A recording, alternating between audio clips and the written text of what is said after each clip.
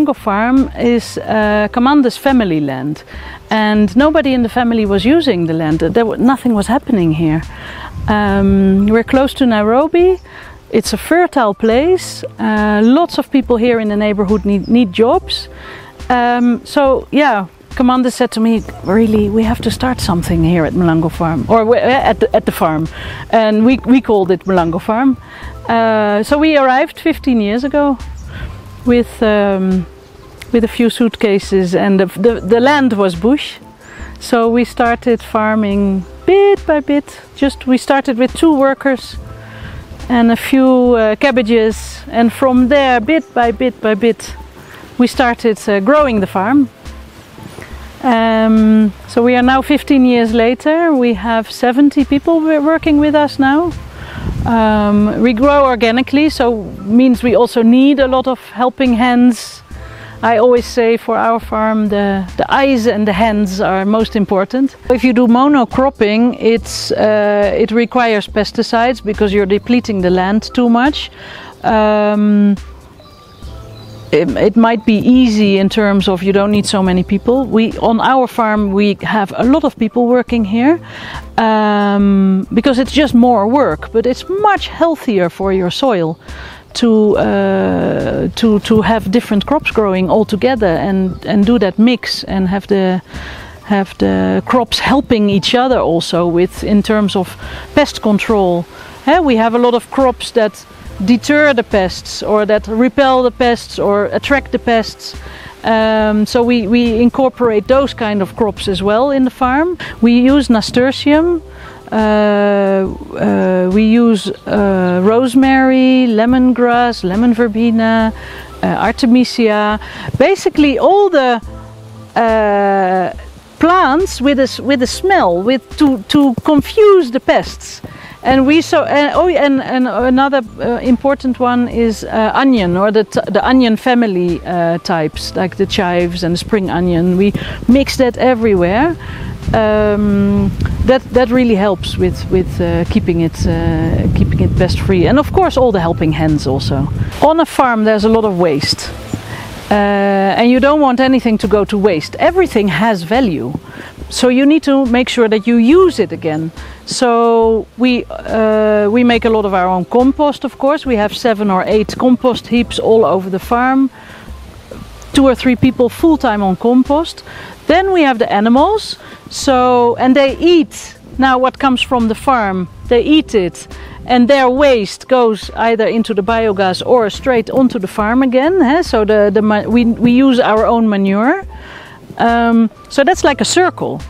With the biogas digester, we can cook uh, about two to three hours every day. So that helps in the in the in the bills for the for the gas bottles. Uh, so we we produce our own cooking gas, and uh, that's quite significant every day. With uh, uh, we all, we always cook for staff lunch, staff tea, and um, that's all self self sustaining now. We are very lucky. We, ha we have water. Um, we have two valleys down on the farm where we just saw the water was bubbling up. So we we, we have some hand dug wells where we pump the water every day. And, and when we're pumping it, the water goes down, and the next morning it's full again. So we're very lucky we have water. But in these periods of these enormous droughts, every year we see it's it's getting like this year is very bad. So we really need to think of how are we going to use this water more wisely.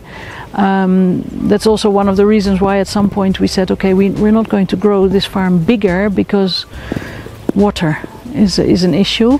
Now we want to um, focus even more on biodiversity, more trees. In the beginning, we focused a lot on vegetables, vegetables, vegetables. Now we say, okay, we need to grow more trees because that will hold the, um, the water in the soil better. In terms of water use, uh, drip irrigation uses least water. So a lot of people ask us, why don't you use drip irrigation? Um, we don't do drip irrigation because our farm always changes. We, we don't follow a certain line or a certain system. We're not, we're not the system following people. Um, it, it just doesn't work for us. Uh, because we grow a, few crops like this, and then the next time another crop is growing, and we change it again. Uh, so we use uh, hose pipes, which is uh, maybe using a bit more water, but it's also um, better to because you're basically mimicking the rain.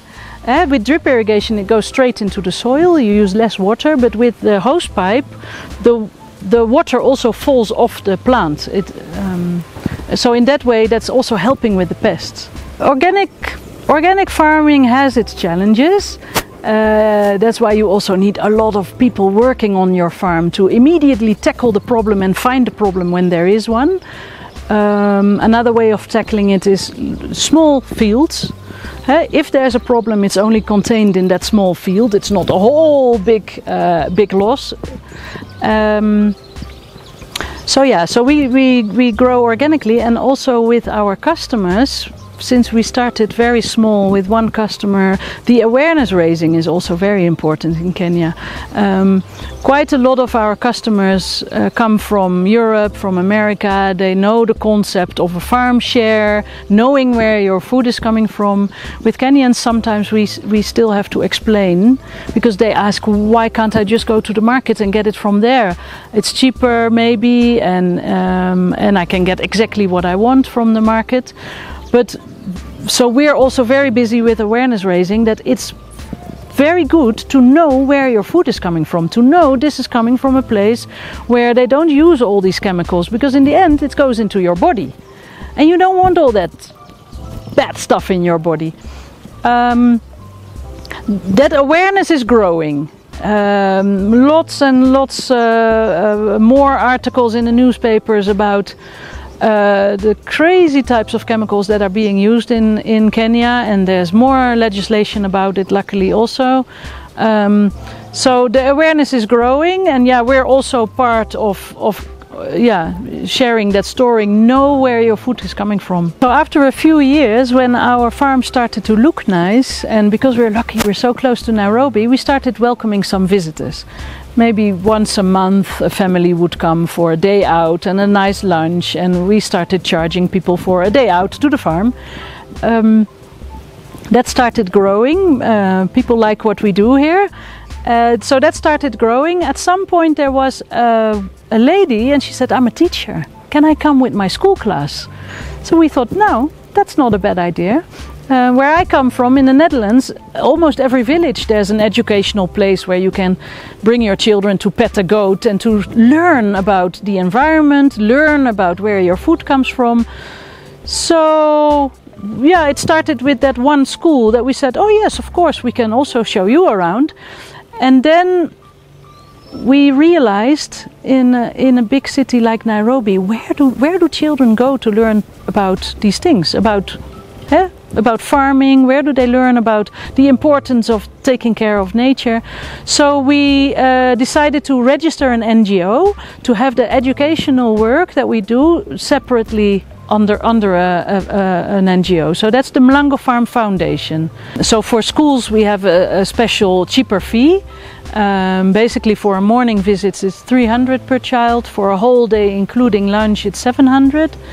Um, and then we also do family visits in the weekend, which is a bit more luxurious, three course lunch, uh, coffee, cake, a nice relaxed day out. That's uh, 2,500 per person. So I explained a lot to you about uh, what's happening on the farm, uh, how things are running on the farm. Uh, I want to show you a bit more. Um, also, uh, here they are planting, they're, they're doing the irrigation, we have the animals on the compound and the biogas. So come with me, I show you more.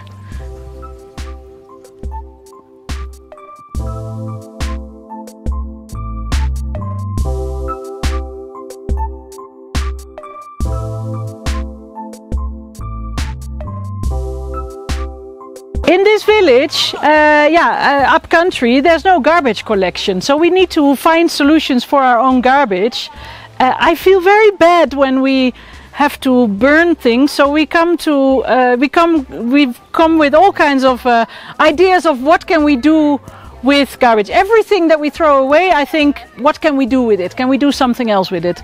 So we do a lot of these planting now. We also do that with visiting school children. They all go home with with a with a plant like this. We uh, uh, oil oil bottles we recycle, uh, yogurt cans we recycle, car tires we even recycle into steps.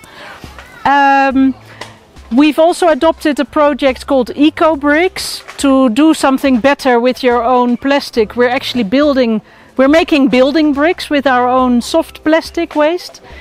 Um, so yeah, we I like to say nothing goes to waste as much as possible. So welcome to the animal area, the livestock area of Mlango Farm. Uh, here we have many different uh, types of animals. It started with a donkey many years ago and from there we've adopted, we've uh, raised uh, many more animals. Uh, it's all for the visitors. Uh, we don't really do dairy or meat. Um, well, sometimes a goat for the family meetings, but it's all for teaching uh, our visitors uh, uh, about animal care, about the whole circle also with um, the animals they eat from the farm. The manure is being used again for the farm, for the biogas. So the manure from the animals goes into uh, this bucket for the biogas.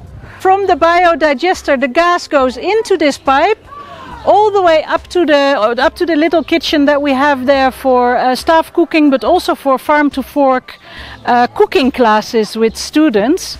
Um, and outside, on the other side of the biodigester, we have the slurry coming out that is again being used on the farm. Uh, so here's also a whole circle of input and output to the farm. We don't want to grow bigger, we just want to grow better. So um, we want to grow more uh, diverse crops. We want to focus more on fruit trees, uh, berry bushes. It should be full of food. Uh, sometimes you hear about food forests, but I think that's our vision as well. Uh, I don't know the official what it officially means, but I think that's it. J that you walk around and there's food everywhere. So it should be full and diverse. Um, and we want to grow more also into education uh, because we see there's really a demand for it. Uh, we have so many visitors from Nairobi who have they have never seen a broccoli grow in the ground. Um, they have never seen a cow. Uh, that's of course the, the, the, normal when you come from a city and you grow up in a city that you don't know that kind of life. But we think it's important that our visitors um, yeah, get to see that and get to appreciate where does your food come from. Also in the bigger picture, because then you also understand why is it so important that we take care of planet Earth.